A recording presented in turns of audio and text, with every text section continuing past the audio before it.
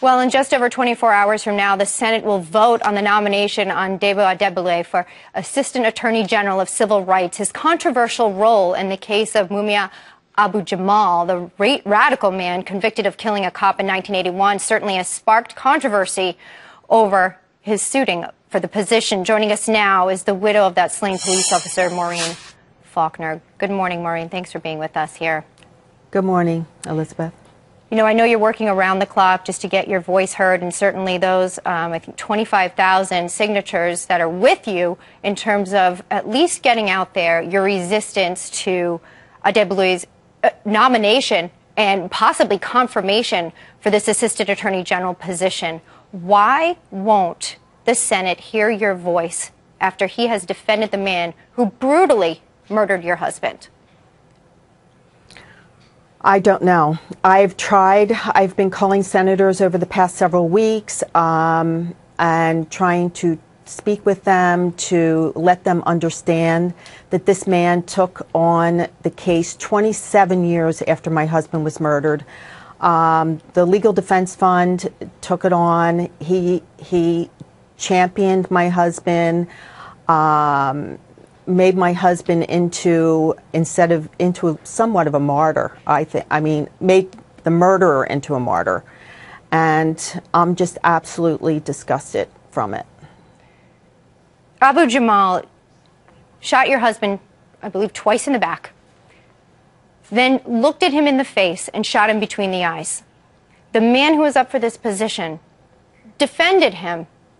The Senate won't look at you straight in your face and hear you? Have you heard from Harry Reid? Have you reached out to him so that they can at least hear your voice? Yes, I have. I did. I did hear from Pat Leahy about two weeks ago saying that they would not hear my voice, and I've been calling. I called Harry Reid's office several times to ask if they please would not have the the full Senate hearing this week because I was going to be out of town, and I never received a response from them, which I think is a disgrace, an absolute disgrace. Uh, and so I'm not able to be in Washington where I would like to be sure. uh, during the Senate committee hearing. Maureen, your husband protected the freedoms of citizens. Uh, Senator Bob Casey said, you know, citizens should feel great about who is nominated for this position.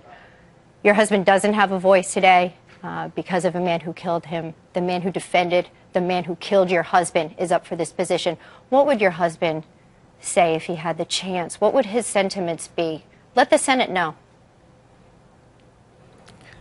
I think the Senate needs to know that uh, my husband would feel that, you know, this is evil, uh, it's unjust, and they really need to look at the facts of who this man is that they are nominating for the Department of Justice Civil Rights.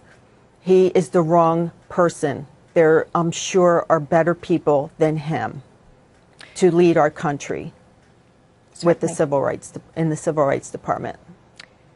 Maureen, our hearts are with you through this. Please let us know what next steps are if you hear from Senator Harry Reid and any updates thus far. We'll be standing by. Thank you for being with Fox and Friends. Thank you.